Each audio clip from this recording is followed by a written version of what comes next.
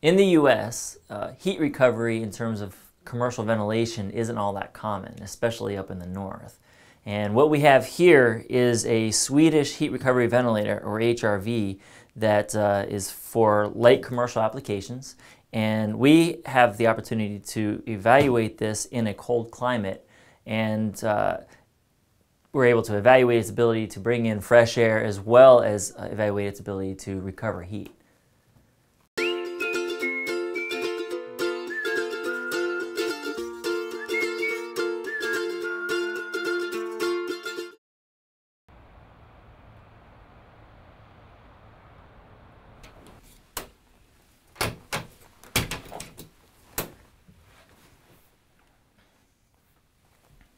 Starting right here, this is where the, uh, the return air, the stale air from the building, comes in right here. This is, these are some filters, but the airstream goes right through this part of the HRV, and this is where it exits uh, out the building. This is the exhaust. Right here, there's a rotary type heat exchanger, and we're protecting that from uh, buildup of dust and dirt by using these, these filters. What's happening here is this is bringing fresh cold air from outside, goes through through another set of filters. It picks up that heat that it just recovered from the outgoing airstream and then sends it into the building.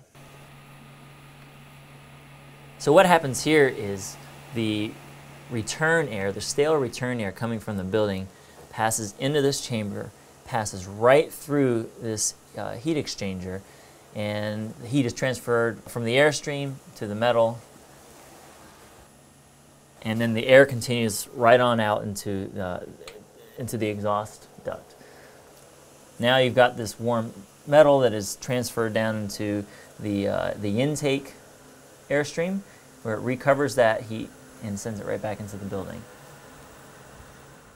One of the complaints that sometimes you hear with regard to heat recovery ventilators is that if you're sitting there working, it may be pulling in cool air and blowing it on you. So even though it may be 20 below outside and you are recovering heat, you know, the air is only going to be, the supply air is only going to be so warm. And that can be uncomfortable. One of the ways to overcome that is you put a reheater in, uh, you're just heating up the supply air. In this case, it's a hydronic uh, reheater. So we've got hot glycol that just goes through a, uh, a liquid to air heat exchanger. And um, as the air blows across the heat exchanger, extracts the heat from it, and then the cools the glycol, and the glycol gets heated up down by our heating system. And as a result, then you, you get comfortable air blowing on you. What we have in our, in our building addition is our occupancy sensors. And these occupancy sensors can, they look primarily at, at CO2, carbon dioxide, and look at if we have uh, an influx of occupancy, say a classroom, uh, a class comes in, then the CO2 raises up and our Siemens system has the ability to open and close the supply air and return dampers to each to the classroom or to other parts of the building. And when those, say for instance, uh, we open up one of these these pairs of ducts, then you have a drop in the system pressure because you have another hole in the, in the system.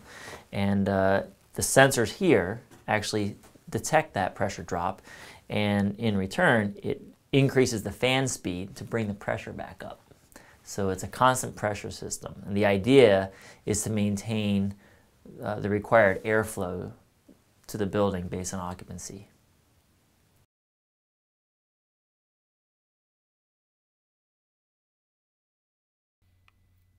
This is a, a, continuous ventilation heat recovery ventilator. What this does is there are pressure sensors on either side that can say, hey, uh, we're, we're, collecting frost on this. So what it'll do is it'll actually slow down the, the rotation of the heat recovery uh, heat exchanger. And, and instead, what it'll do is it'll uh, reduce its own efficiency in terms of heat recovery, but it'll maintain ventilation. And so that's how it, that's its method of uh, frost protection. The most common defrost mode is when um, the core starts to freeze. Uh, one mechanism is to just recirculate the indoor air through the core and send it right back into the building so that you're not bringing in cold air and freezing that core any further. So what that means is there's a window when you're not ventilating, you're not bringing in fresh air. Instead, you're defrosting that, uh, that heat recovery or that, that core. Well, this is a light commercial HRV system and it can be used in applications such as apartment buildings or multifamily units. Um, its efficiency is about 55%, and what that translates to is, in our application for this building, is about $6,000 a year savings uh, just by having this unit and by recovering that heat. And on top of that, we get uh, occupancy comfort and um, fresh air.